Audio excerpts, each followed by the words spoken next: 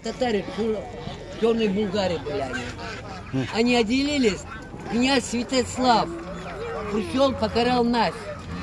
Сейчас, видишь, как их покарают. Украина кумыкская территория.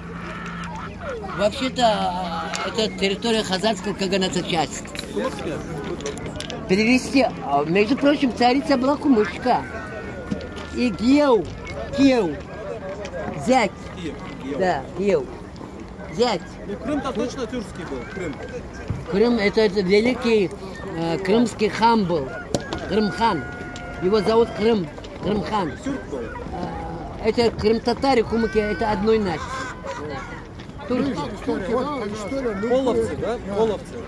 Туда заходят полностью. Вот это, например, Кайкенский район Кумыки, это больше ближе к казахам, кипчаки.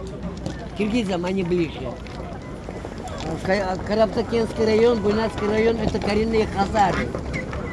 Бабайский район, Хасарский район, это уже идет э, казаки, вот эти чешские казаки. А казаки. доргелинцы? А? А доргелинцы? Тургенцы евреи, сто процентов.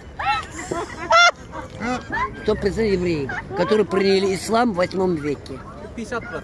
Зачем в Сто процентов. ходить? В восьмом веке во главе Буланом они приняли. Когда арабы разрушили Самендер, от Таркитаута самого, э, вот этот Балтугая была огромная город Самендер, столица Хазарского Каганата. Когда в восьмом веке хазары приняли ислам, и вот это э, таты, горские евреи, они тоже приняли ислам, был Астрахан уже. Во главе был тогда Булан, Каган.